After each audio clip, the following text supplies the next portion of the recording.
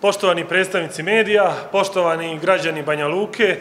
iza nas je jedan izuzetno naporan i težak sastanak sa prije svega predstavnicima preškolske ustanove Zvjezdica koji su juče objavili da će povećati svoju cijenu za boravak djece u toj preškolskoj ustanovi za 100 konvertibilnih maraka. Ono što možemo reći je svakako da ne postoji nikakva argumentacija da je opravdano povećanje cijene od 100 konvertibilnih maraka e, i to naročito kada imamo poslednje usklađivanje cijene ove preškolske ustanove pri tri mjeseca. 30% povećati za tri mjeseca ili 10% svaki mjesec, to je inflacija koja nije bila ni za vrijeme Ante Markovića. Ne postoje nikakvi argumenti koji nam mogu reći da e, je ovo ekonomski utemeljeno i da se ne radi o zloupotrebi subvencija, jer e, u petak je gradonačelnik obavio sastanak sa roditeljima djece koja borave u privatnim preškolskim ustanovama, najavio povećanje subvencija od juna mjeseca i danas smo, eh, odnosno juče smo dobili takvu informaciju koja očigledno ukazuje na to da je cilj da se budžetska sredstva ne usmjere ka džepovima roditelja, već ka džepovima privatnih, vlasnika privatnih preškolskih ustanova. Ono što moram reći je da grad Banja Luka to neće i ne smije da dozvoli. E, Zakon o javnim nabavkama i propisuje situaciju da kada subvencije e, za neke usluge prelaze preko 50% u članu 7, da se tada e, moraju provoditi procedure javnih nabavki i da na taj način se vrši garancija da subvencije koje se dalju, evo konkretno roditeljima, ne mogu biti iskorištene za neracionalno i neopravdano povećanje cijena. Danas smo imali sastanak na kojem smo razgovarali kako sa predstavnicima preškolske ustanove, tako i sa roditeljima i gdje smo jasno iznijeli stav grada Banja Luka da nije prihvatljivo da idemo u rat cijena koji znači da će jedna preškolska ustanova povećati cijene, da će na taj način e, izazvati reakcije i drugih e, preškolskih ustanova i da na kraju imamo situaciju da se roditeljima cijena poveća za nekoliko mjeseci za veliki iznos. To nije prihvatljivo. I to smo danas vrlo jasno rekli i e, naravno bili spremni da saslušamo sve argumente kada su u pitanju razlozi za povećanje cijena, ali do one mjere koliko to može biti opravdano. Ono što je također rečeno na sastanku jeste da e, racionalno je da E, povećanje plata zaposlenih u preškolskim ustanovima ima smisla, ali onoliko koliko se povećavaju prosječne plate u Republici Srpskoj. Jer i roditelji su ti koji trebaju da zarade svoju platu. Roditelji su ti kojima nije povećana plata 30% u prethodna tri mjeseca. Iz tog razloga e, se mora razgovarati. Ono što je zaključak sa današnjeg sastanka, da se e, nastavi razgovarati za dva dana u četvrtak u 12 časova i gdje očekujemo da e, će obaviti konsultacije predstavnici preškolske ustanove i da možemo konkretnije govoriti o nekom kompromisnom rješenju koje bi značilo neometano funkcionisanje ove preškolske ustanove, ali ono što je za građane Banja Luke najvažnije da subvencija ne bude zloupotrebljena i da ne bude potrošena, da kažem, za neki privatni interes, a, već mora da zaista služi svoje srci, a to znači da rastereti budžete roditelja i građana Banja Luka. Sa druge strane, grad Banja Luka nudi kompromisna način da se stavlja na raspolaganje, da kadrovske e, probleme i nedostatak e, ljudskih resursa kada je u pitanju e, dio vaspitača, da zaista u svakom smislu budemo podrška. I kada je u pitanju legislativa i neki drugi mehanizmi o kojima se i danas razgovaralo i koje je potrebno u narednom vremenskom periodu, bude razgovaralo i kada se pronađu, da zaista ih zajedno iskoristimo i evo, e, konačno da, da dođemo do nekog rješenja koje sigurno nije u povećanju za 100 konvertibilnih maraka, jer na taj način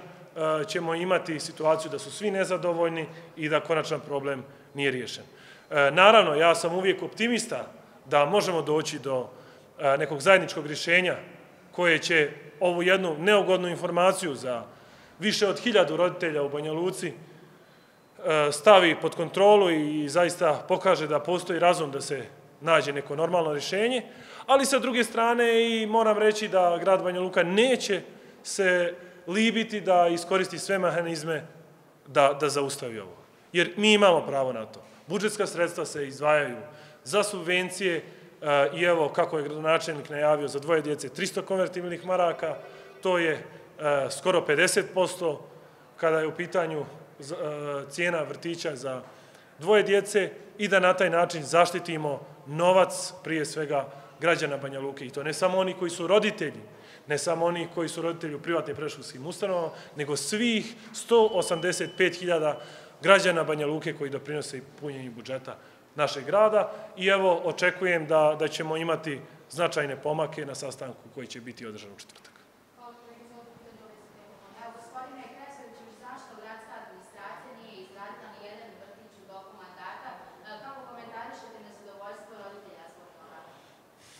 Ja komentarišem da je ova gradska administracija završila dva, započinje e, još jedan koji neće biti završen u ovom mandatu i naravno jedan je e, otvoren na samom početku mandata, što znači da imamo jedan e, koji je otvoren na početku mandata, dva koje su završena i jedan koji će biti započet i na taj način govorimo o kapacitetu od 200 nove djece i mogu reći da je to informacija koja svakako u sklopu svih politika koje je grad Banja Luka realizovao, a ima ih mnogo, od besplatnih učbenika, od subvencija za boravak u privatnim preškolskim ustanovama, besplatne građevinske dozvole, besplatni priključci, e, sa svim ovim, ono što ja vidim čujem, e, mogu reći da, da građani Banja Luke jesu zadovoljni i svakako da postoje posticaji za nas E, da u narednom vremenskom periodu i narednom mandatu uradimo još više, ali e, ono što je urađeno do sada svakako se može okarakterisati kao zaista e, kvalitetno i da smo pokazali suprotno od onoga što su mnogi htjeli da se desi, a to je da jedna mlada ekipa ne može da iznese sve ove izazove, ali upravo suprotno tome mi smo odgovorili na sve izazove na najbolji mogući način.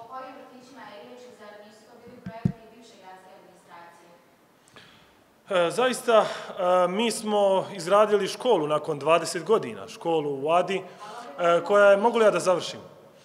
koja je nasljeđena kao projektno-tehnička dokumentacija iz prethodnog mandata i zaista smo rekli na početku, kada su prvi put u ovom mandatu otvorena ova vrata, da će Banja Luka biti grad bez podijela i to znači da inicijativa i drugih partija, kao što je inicijativa socijalističke partije, da se milion i po maraka pokrene novi projekat e, za rekonstrukciju e, vrtića Nataša u Boriku, dobije podršku jer je to dobar projekat. To znači da i, i da Kuljane u koje smo uložili u 2021. godini, u budžetu koji je predložio Draško Stani Vuković, da projekat koji smo nasledili od prethodne gradske administracije, a obezbijedili sva sredstva, zasigurno treba da ima podršku i treba da služi svrsi i mještanima, prije svega Kuljana, ali i drugih e, naselja i da je to pravi način da ne gledamo čiji su projekti, čiji su amandmani, već da zaista gledamo šta je dobro, a dobro je ono što će ostati iza nas, a ne što će jednokratno otići kao podrška recimo kliničkom centru koji je izvukao 2,7 miliona konvertivnih maraka. Iz budžeta građana Banja Luke, a da istovremeno ima povećanje svog budžeta od 150% u prethodnih 5 ili 6 godina. To nema ni jedna ustanova. I tamo trebate pitati zašto Dom zdravlja ima svega povećanje za 40% svojih sredstava Fonda zdravstvenog osiguranja, jer je indirektno sankcionisan od kliničkog centra koji je ta sva sredstva usmjerio ka sebi.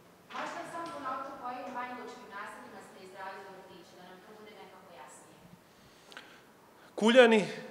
Vrbanja i započeto u Boriku. Otvoreno na Petrićevcu.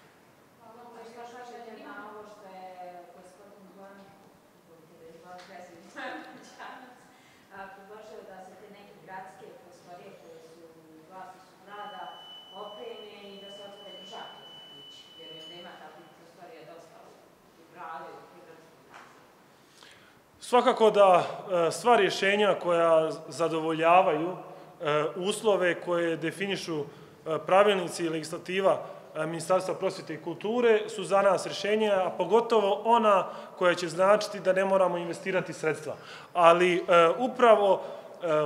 informaciju koji su to prostori koji ispunjavaju takve uslove najbolje mogu da komentarišu e, predstavnici Centra za preškolsko vaspitanje i obrazovanje i svaku takvu inicijativu grad Banja Luka će e,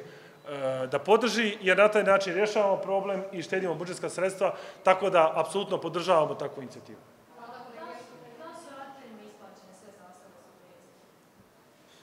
Roditeljima se isplaćuju subvencije po dinamici za 2024. godinu, unaprijed u odnosu na ono što je propisano. Propisano je da se isplaćuje do petog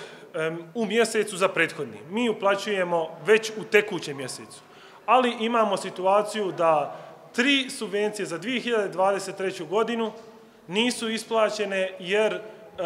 Ljubo Ninković je smatrao da nije trebalo usvojiti rebalans budžeta za 2023. godinu, jer je tvrdio da je to nenamjensko trošenje sredstava, kao što je za njega nenamjensko trošenje sredstava za besplatne učbenike e,